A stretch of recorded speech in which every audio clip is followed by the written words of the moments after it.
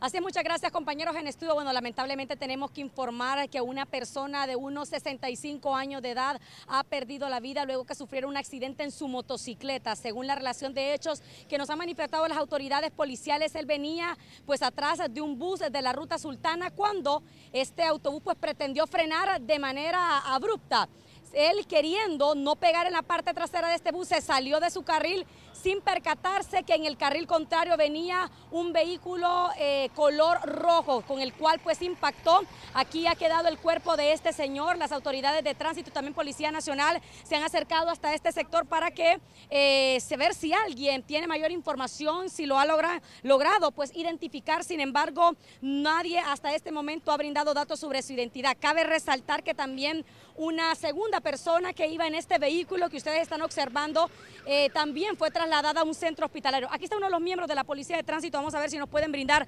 mayores detalles sobre este lamentable hecho ocurrido aquí en la entrada a Cofradía Cortés. Sí, es lamentable que sucedan estos, estos tipos de eventos. Ya una persona fallecida producto de, de la mala conducción de su motocicleta y estamos esperando que vengan los familiares a hacer reconocimiento. Hay una dama que también resultó herida. ¿E-, ¿Era de gravedad sus heridas? Eh, llevaba heridas de gravedad, pero se le trató a tiempo. Se le trasladó para la clínica Santa Fe y está fuera de peligro, gracias a Dios. Bien, el conductor de este vehículo cabina y media pues ha sido requerido, pero al parecer eh, no habría sido culpa de él.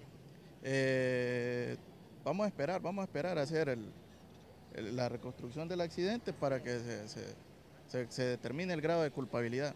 Así es. Bueno, muchas gracias a los agentes de tránsito, los dejamos que puedan efectuar su trabajo y estamos a la espera de que venga medicina forense y de esta manera pues obtener la identidad de este señor. Si usted pues eh, reconoce la motocicleta es familiar, ahí están las placas MAB 0566, eh, si usted lo puede reconocer para que se pueda trasladar también hasta este sector entrada principal de Cofradía Cortes. Al parecer, pues él venía a ver una milpa que tiene aquí en las cercanías. Con mi compañero Denis Ábrego, en el sector carretera occidente, retornamos a estudios.